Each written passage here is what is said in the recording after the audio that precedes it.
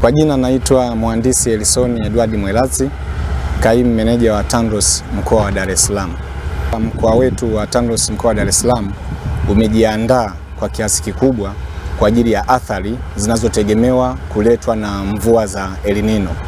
Kama ambavyo unaona uh, tumekwisha weka wakandarasi mbalimbali kwenye madaraja yetu yote makubwa katika mkoa wa Dar es Salaam. Mna madaraja makubwa yapatayo thelathini na mbili ambayo wakandarasi wetu wapo kila mahali, wametawanyika kwa ajili ya kusafisha na kuondosha takataka zote kwenye midomo ya madaraja ili tu mvua za El Nino zitakapofika ziweze kupita bila kuleta usumbufu wowote. Na hapa tulipo tuko eneo la Jangwani, ni eneo ambalo ni mojawapo ambalo mvua zikinyesha huwa zinaleta changamoto mbalimbali, lakini kwa miaka miwili mfululizo eneo hili limekuwa ni salama kwa sababu tumekuwa tukisafisha mara kwa mara. Kama unavyoona sasa hivi tuna mkandarasi hapa anaendelea, anaitwa Beko Construction Company Limited, anafukua huu mfereji mita mia tatu upande wa juu upstream na mita mia tano kwa kuanzia mita mia tano upande wa chini, lakini baada ya kukamilisha hii midomo yote mitatu tutaendelea tena mbele kwa ajili ya kusafisha mpaka kule uh, kwenye mdomo wa, wa baharini. Kwa hapa mkandarasi anaendelea vizuri. Eneo hili la, la daraja kubwa almost ndio anakaribia kumaliza, lakini kuna midomo tena miwili ya jirani kule na, na, na faya.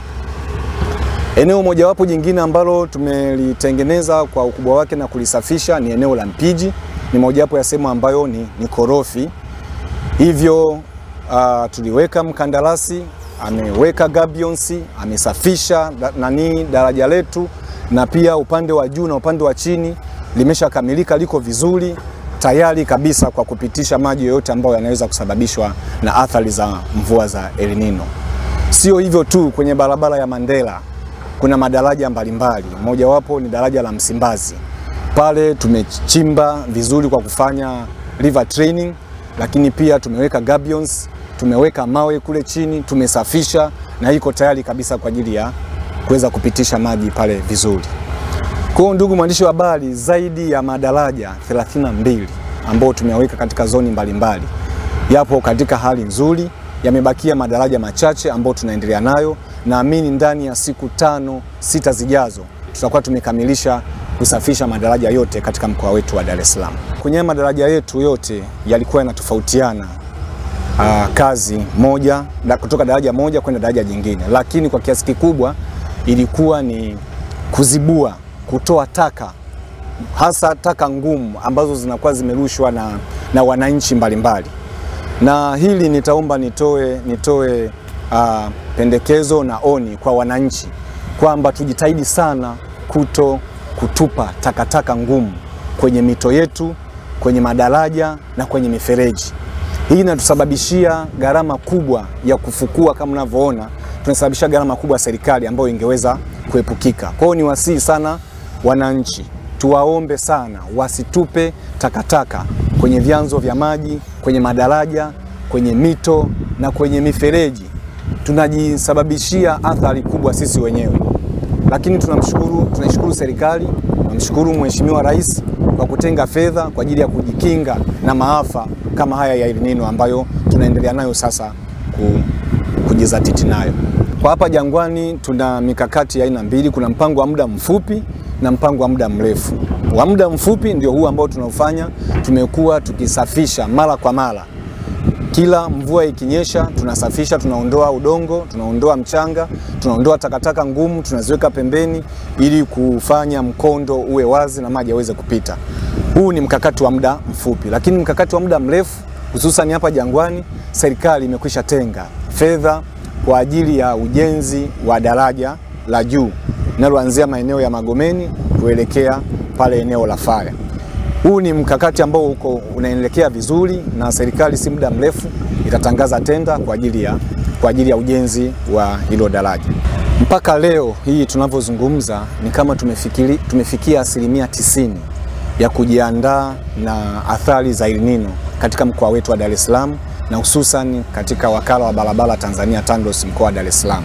Kama ambavyo mwandishi umepita kwenye madaraja mbalimbali, umeona kazi zikiendelea. Hata hapo kama unavyoona mitambo iko hapa inaendelea na kazi, ni kwa ajili tu ya kuhakikisha kabla mvua hizi hazijaanza kunyesha, basi madaraja yote yako katika hali nzuri na yanaweza kupitisha maji kipindi chote cha El Nino. Kwa hiyo tunaamini kwamba tutaweza kudhibiti au tutazuia kwa kiasi kikubwa sana athari za El Nino kutokana na haya maandalizi ambayo tumeyafanya. Wito wangu mkubwa kwa wananchi uh, hususan wanaoishi mkoa wa Dar es Salaam na wanaoishi kando kando ya mito, madaraja pamoja na mifereji, tunawasihi sana wananchi waache kutupa takataka kwenye mito, kwenye mifereji, kwenye madaraja.